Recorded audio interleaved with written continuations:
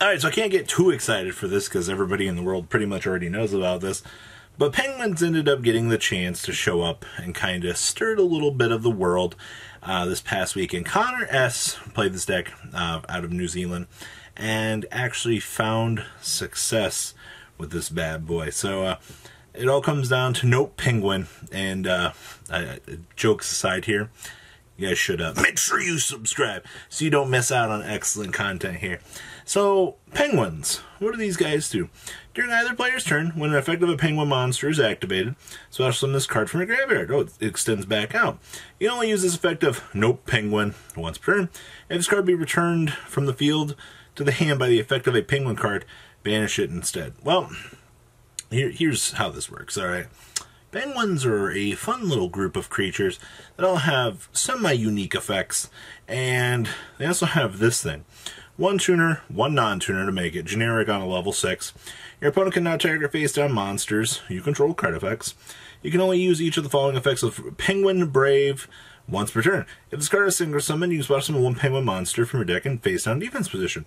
Your opponent's monster activates a monster effect quick effect. You can target a face-down defense position water monster you control and flip it face up. So we can just, you know, flip up our little penguin friends. Uh, where's oh, the classic penguin soldier interaction. We also have this little bolt penguin here, uh, which is, well, I mean, vanilla support. It is what it is. So we have triple copies of Ash Blossom and Joyous Spring, two copies of the Rosinix for, you know, the old cool kids plays. Also make sure the token. We have two copies of the Minstrel, so you can get the hand knowledge on the opponent, kind of get an idea of what you're playing against. Basic stuff here.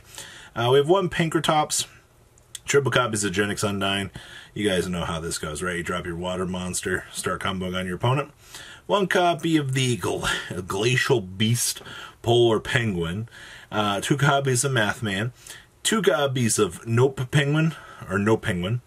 Uh, we have two copies of Penguin Soldier, the one Scrap Golem, the triple copies of the Scrap Recycler, the two Bolt Penguin, the two copies of the Genex Controller, then we have Fury of the Kairyu-Shin.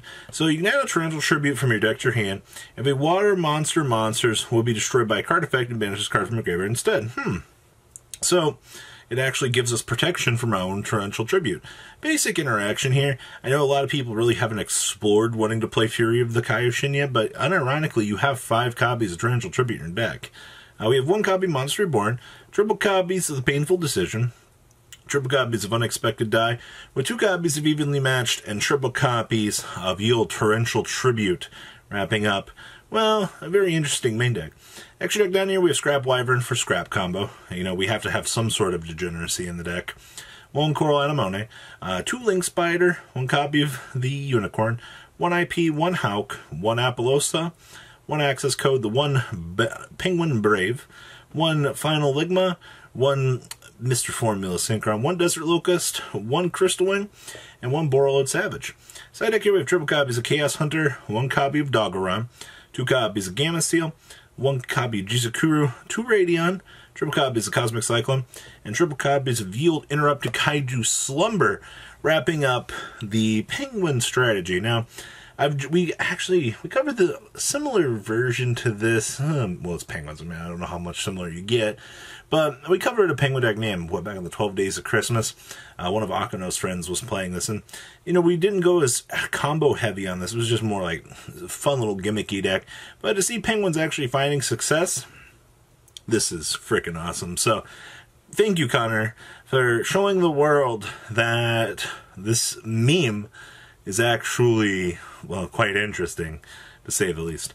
Next up, we have Sky Striker. This was Brian Chen's first place list out of the Winnabox tournament. Now, we literally just had the world be shocked by the advent of Striker Eldritch this past weekend. So, seeing, you know, more, eh, I would say a commonplace for Striker in the format now is not a bad thing. This deck's prowess is quite amazing, actually. Uh, it still has one of the best grind games that you could ever want out of it. You know, having lost Engage, it's whatever, but this deck still capitalizes and still does the same plays that you know it's wanted to do this entire time. So that being said, we have triple copies of Yield Ash Blossom and Joy Spring, two copies of Ghost Belle in the Haunted Mansion, triple copies of Yield Skull Meister, and triple copies of Raye and one Roze.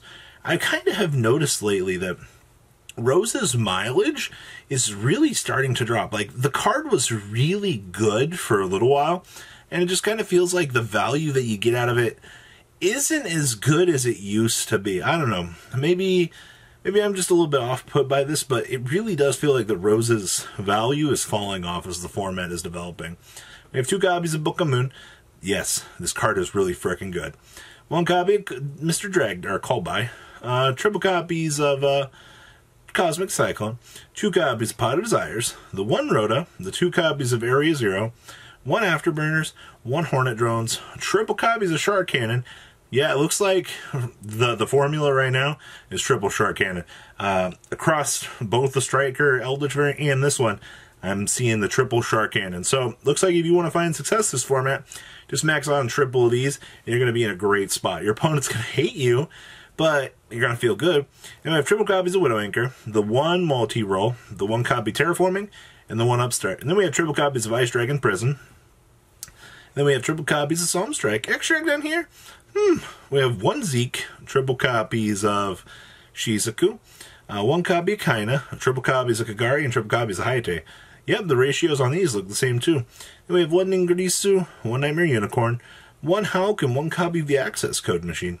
Deck here with triple copies of Cycle Raider, two copies of Nibiru, two copies of Forbidden Droplet, one Feather Duster, two copies of MST, triple copies of Shared Ride. Recently, somebody asked me if this card was like amazing bonkers this format, and I do think that this card is very good.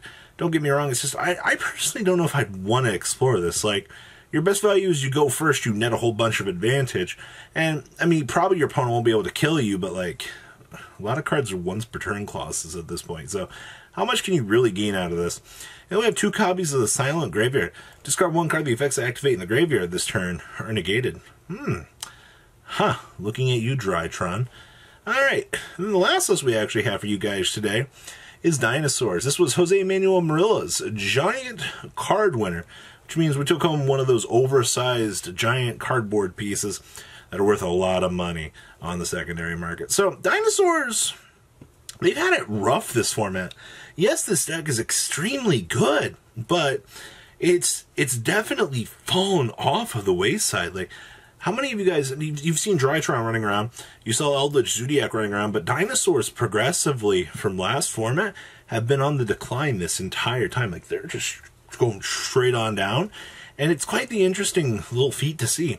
So we have two copies of the Animador Archosaur, triple copies of Ash Blossom and Joyous Spring, triple copies of little baby Sarasaurus, one Pankratops, triple copies of Ghost Belle in the Haunted Mansion, the one Giant Rex. Some things would never really change with these builds. We have triple copies of Miscellaneous, one copy of the Pterodon, triple copies of Gamma, triple copies of Oviraptor, two copies of Ultimate Conductor with the one driver, one copy of Dark Ruler No More. That's interesting. It's what makes the deck 41. Two double evolution pill, two droplet, triple copies of Fossil Dig, triple Lost World, triple extra, and one copy Terraforming, wrapping up the main deck here. Extra deck, we have the two Secure Gardna, the one Lambda, two copies of Linkuriboh, one Phoenix, one Tornado Dragon, one Silent Honor Ark. That's interesting. Haven't seen that in a little while. Uh, one copy of Logia, two copies of Dolka, two copies of Sky Thunder Zeus, with one Abyss Dweller, and the one copy of the PSY-Framelord Omega. Side deck here we have two Cycle Reader, triple copies of Lancea, one copy of Droll, two copies of Dark Ruler No More, one Feather Duster, two Lightning Storm, triple copies of Anti-Spell Fragrance, and one copy of everybody's favorite Red Reboot. Wrapping up this chunk of deck profiles for everybody. Progressively seeing how the metagame is still kind of developing here. Dinosaurs getting pushed down to like Altergeist status right now is very, very interesting. Like, the format is continuing to be solved. We're starting to see really cool things. We're seeing rogue decks over here, like Penguins, finding success. I mean, yeah, it's at a local level, but it is still very interesting to see how this format is shifting. Even with all the anti-graveyard cards that are evolving for to stop Drytron, it still goes to prove that the player base does, they're finding ways to out everything. So guys, make sure you subscribe so you don't miss out on more excellent content. And I'll see your beautiful faces back here later on in the day for some more cool content. Peace out, guys. Have a good Thank you, patrons, for making ride never truly end without you guys' support. Well, I would probably be doing Truffle Shuffle videos for a living. Guys, please check out VanCool40 for all of your Cardfight Vanguard content brought to you by MKohl40. And if you are looking to pick up singles, check out mkohlgames.com for your trading card game needs. Thanks for watching, everybody.